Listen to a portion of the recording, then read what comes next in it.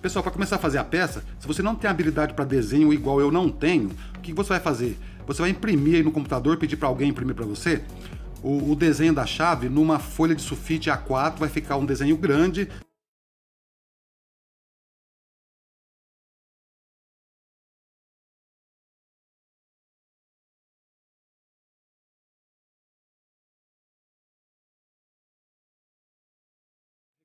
Esse círculo aqui também você corta. Olha, a chave inteira, ela tá medindo aqui 27 centímetros. Então você tem que fazer um canudo pelo menos para esse centro aqui, ó, que é a parte maior.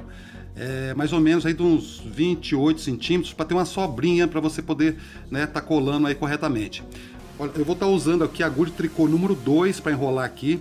A tira de jornal ela tem 8 de largura. Se por um acaso você não tiver agulha de tricô, é, número 2,5 ou 2, pode fazer com palito de churrasco também. Vai ficar um canudo mais grosso, mas vai dar certo do mesmo jeito.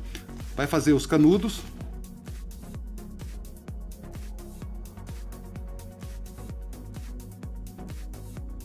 Olha, aqui eu já vou colar esses dois aqui para vocês verem. Olha, eu gosto sempre de começar pelo centro da peça, aqui na parte maior dos canudos para controlar depois aqui no final, né? Aí eu vou colar os canudos aqui. Ó, aqui eu tô passando até por cima do círculo, aqui depois nós vamos recortar novamente. Agora é só você ir passando cola e preenchendo aqui todos os espaços.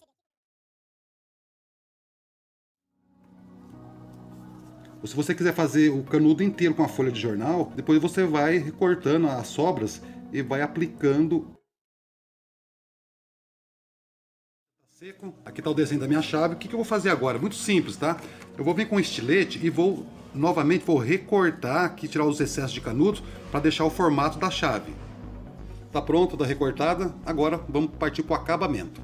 Para o acabamento que eu vou fazer nessa aqui agora, eu fiz o mesmo processo, né, que eu fiz da outra lá. Depois eu vou cortar uma placa de papelão, ela tem que ser maior, tanto no comprimento da chave como na largura. Eu aconselho aí ter uns 4 centímetros, né, a mais do que o tamanho real. Vou fazer uma trama aqui para depois aplicar aqui na chave.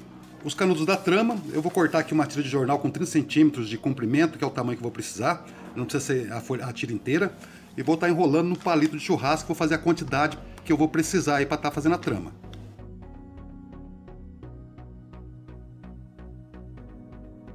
Esse 30 centímetros vai ser o canudo dos pilares, né, para atender o comprimento aqui da, da chave.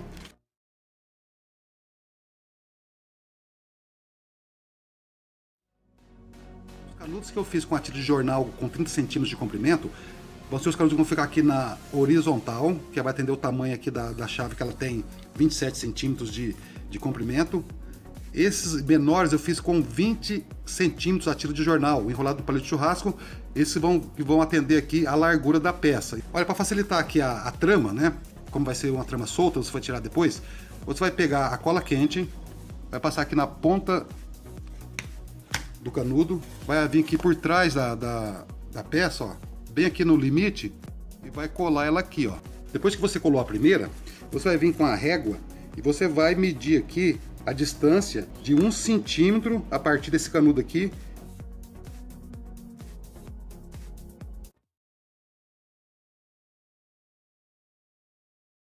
todos aqui.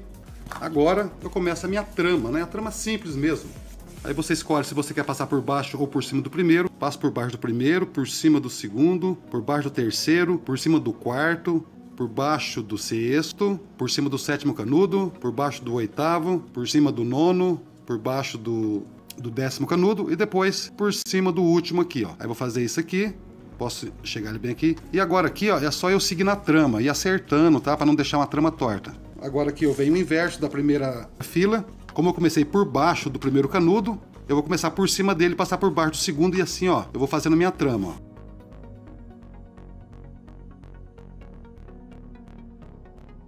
assim eu vou fazendo até chegar aqui no final da peça. Agora vamos começar a acertar aqui, tá? Então você vai posicionar ela aqui no mesmo lugarzinho aqui certinho. Você vai vir com a cola quente. Vai prender ela aqui, ó, do mesmo jeito que você prendeu lá no início. Aí você vem acertando aqui as distâncias dos canudos, que eles mudam, né? Conforme você vai tramando, eles vão saindo do lugar. Aí você vem acertando devagarzinho e colando todas as pontas aqui, tá? Da mesma forma que eu colei o outro aqui. Pronto. Agora, da mesma forma, você vai fazer aqui com esses canudos também, ó. Eles precisam estar bem assentados, né? Então você vai posicionar isso aqui no mesmo, aqui bem no limite certinho e vem colando eles.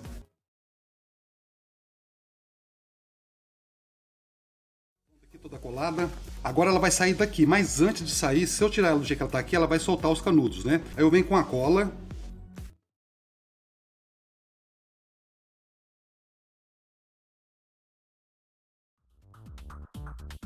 Olha, passei cola. Uma dica bacana para você tá assentando melhor esses canudos, né, e secando mais rápido a cola, é o ferro de passar roupa. Tá? Depois que você passou a cola, você vem com o ferro e vai passando ele, que ele vai secando a cola e já vai assentando os canudos melhor. Você passa o ferro já automaticamente a secagem é instantânea. Aí depois você vai retirar essa placa, você pode vir soltando aqui os canudos que você colou, ou você pode vir com estilete e ir cortando aqui as plaquinhas aqui, ó. Aqui, ó. Se você quiser virar a peça também e fazer o mesmo processo, tá? Passar cola.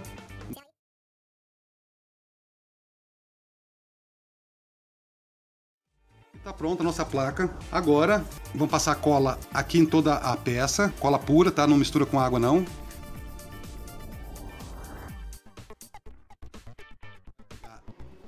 A chave vai posicionar centralizando Virou. Aí você vem com o ferro novamente.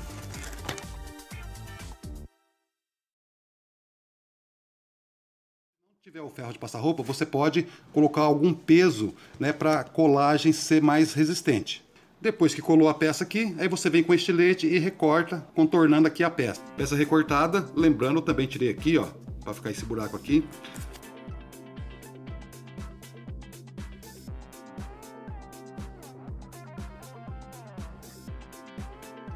o acabamento aqui na peça, eu vou estar usando o canudo da mesma medida que eu fiz aqui para a trama. Vou vir com a cola. Dou uma espalhadinha com o pincel. Aí eu venho colando, seguindo o desenho da peça. Quando você for fazer essas quinas aqui, você pode estar usando aqui para dar uma, um apoio o estilete.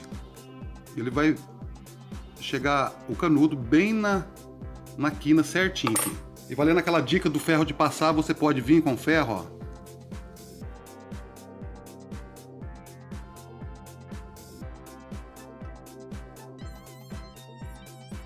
Olha o acabamento tá pronto aqui já. Próximo passo, você vai pegar aqui uma... ver o círculo aqui, né? Você vai vir com a medida, escolhe aí, ver o você vai colocar a medida aqui, vai encaixar aqui. Se couber aqui, ó, então o que você vai fazer? Você vai fazer um canudo fino, tá? Pode ser na agulha tricô número 2. Vai fazer um canudinho fino. Aqui é meio canudo. Dá uma amassadinha. E você vai vir aqui e vai circulando aqui, tá? Na medida que você usou ali, que coube ali na, no espaço. Tá? Vem passando cola. Esse círculo aqui é onde nós vamos colocar para contornar essa parte aqui, ó.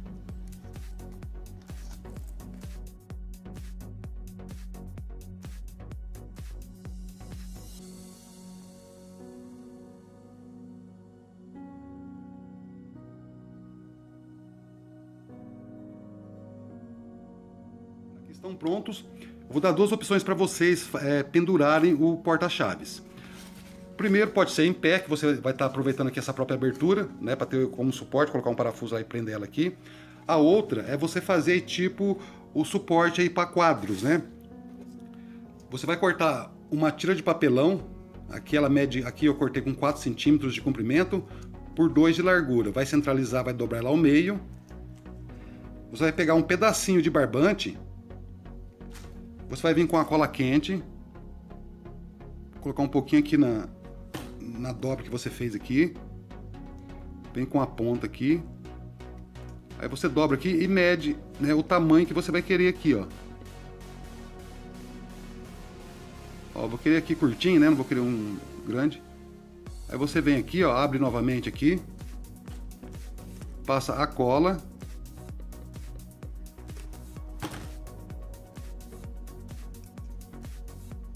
coloca ele aqui,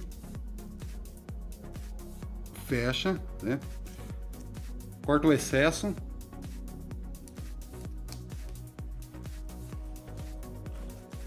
Você vem com a cola quente e cola essas partes aqui, ó.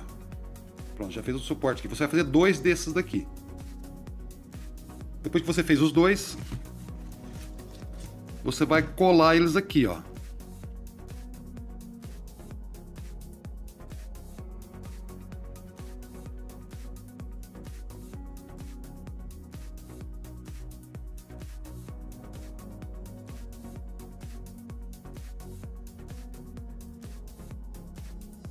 Agora aqui nós vamos fazer aqui o suporte para chaves, né? Precisa aqui para poder pendurar chaves. Eu vou dar duas opções também. Primeiro, você vai cortar aqui, ó, um pedacinho de palito de churrasco, tá? Ou até mesmo aqueles de palito de, de palitar os dentes. Você pode cortar aqui de 2 centímetros ou o tamanho maior que você achar mais fácil. Você depois, você vai vir com estilete e fazer uma ponta, né? Uma, afinar, deixar uma ponta mais fina. Aí depois você vai cortar uma tira bem fininha de jornal, ó, bem fina mesmo, tá? Não tem nenhuma medida exata. Menos de, de, pode ser aí meio centímetro, tá? Ou menos ainda. Você vai passar cola aqui nela. Vai enrolar ela aqui, ó, bem na ponta aqui, ó, na, na ponta que não tá afinada.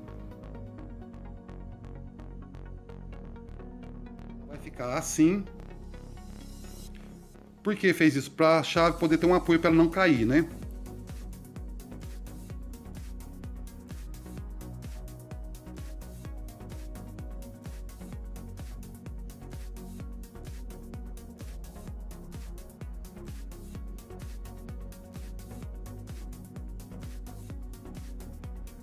A outra opção é eu estar tá utilizando aqui né, os parafusos, né, esses parafusos aí, ó, é, chave Phillips.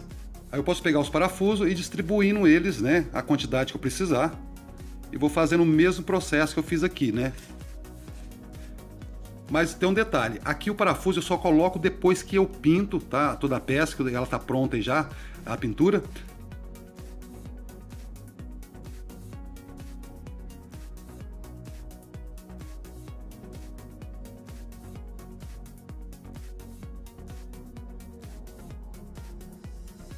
Já está seco aqui, ó, 30 minutos, deixei o betume dar uma secada. Agora eu vou tirar o excesso, eu vou estar tá usando aqui o solvente, eu estou usando a água rasa aqui para fazer esse... tirar esse excesso. Não muito do pano, tá? Põe só um pouquinho. Aí você vem de leve aqui, acompanhando, no caso aqui a trama, você vai acompanhar o sentido da trama aqui, ó.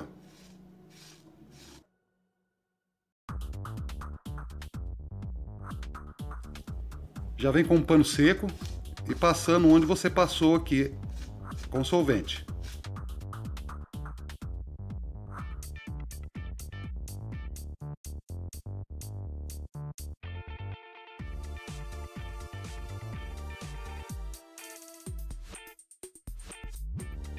Em alguns lugares não é necessário você tirar o excesso, no caso aqui, né?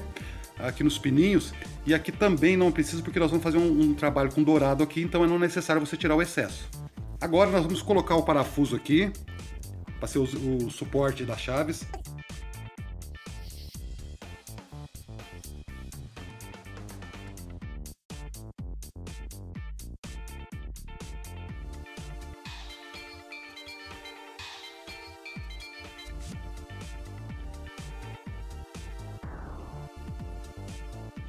os detalhes de dourado aqui na peça.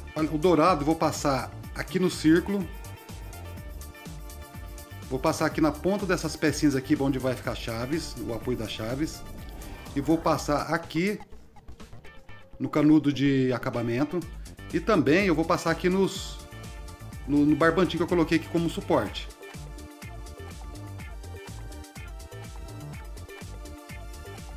Prontos. Uma dica é você pegar essas meia pérolas aqui dourado ou de outra cor e colocar aqui, ó, onde vai ficar as chaves. Aí, pessoal, tá pronto aqui as peças. Olha aqui para vocês verem aqui como é que fica a posição aqui das chaves. Olha, se você gostou, compartilhe, vai me ajudar muito se você compartilhar os vídeos, se você curtir, se você comentar. Se é a primeira vez que você está assistindo esse vídeo, se inscreva no meu canal. A todos vocês sempre, o meu muito obrigado e até um próximo Passo a Passo.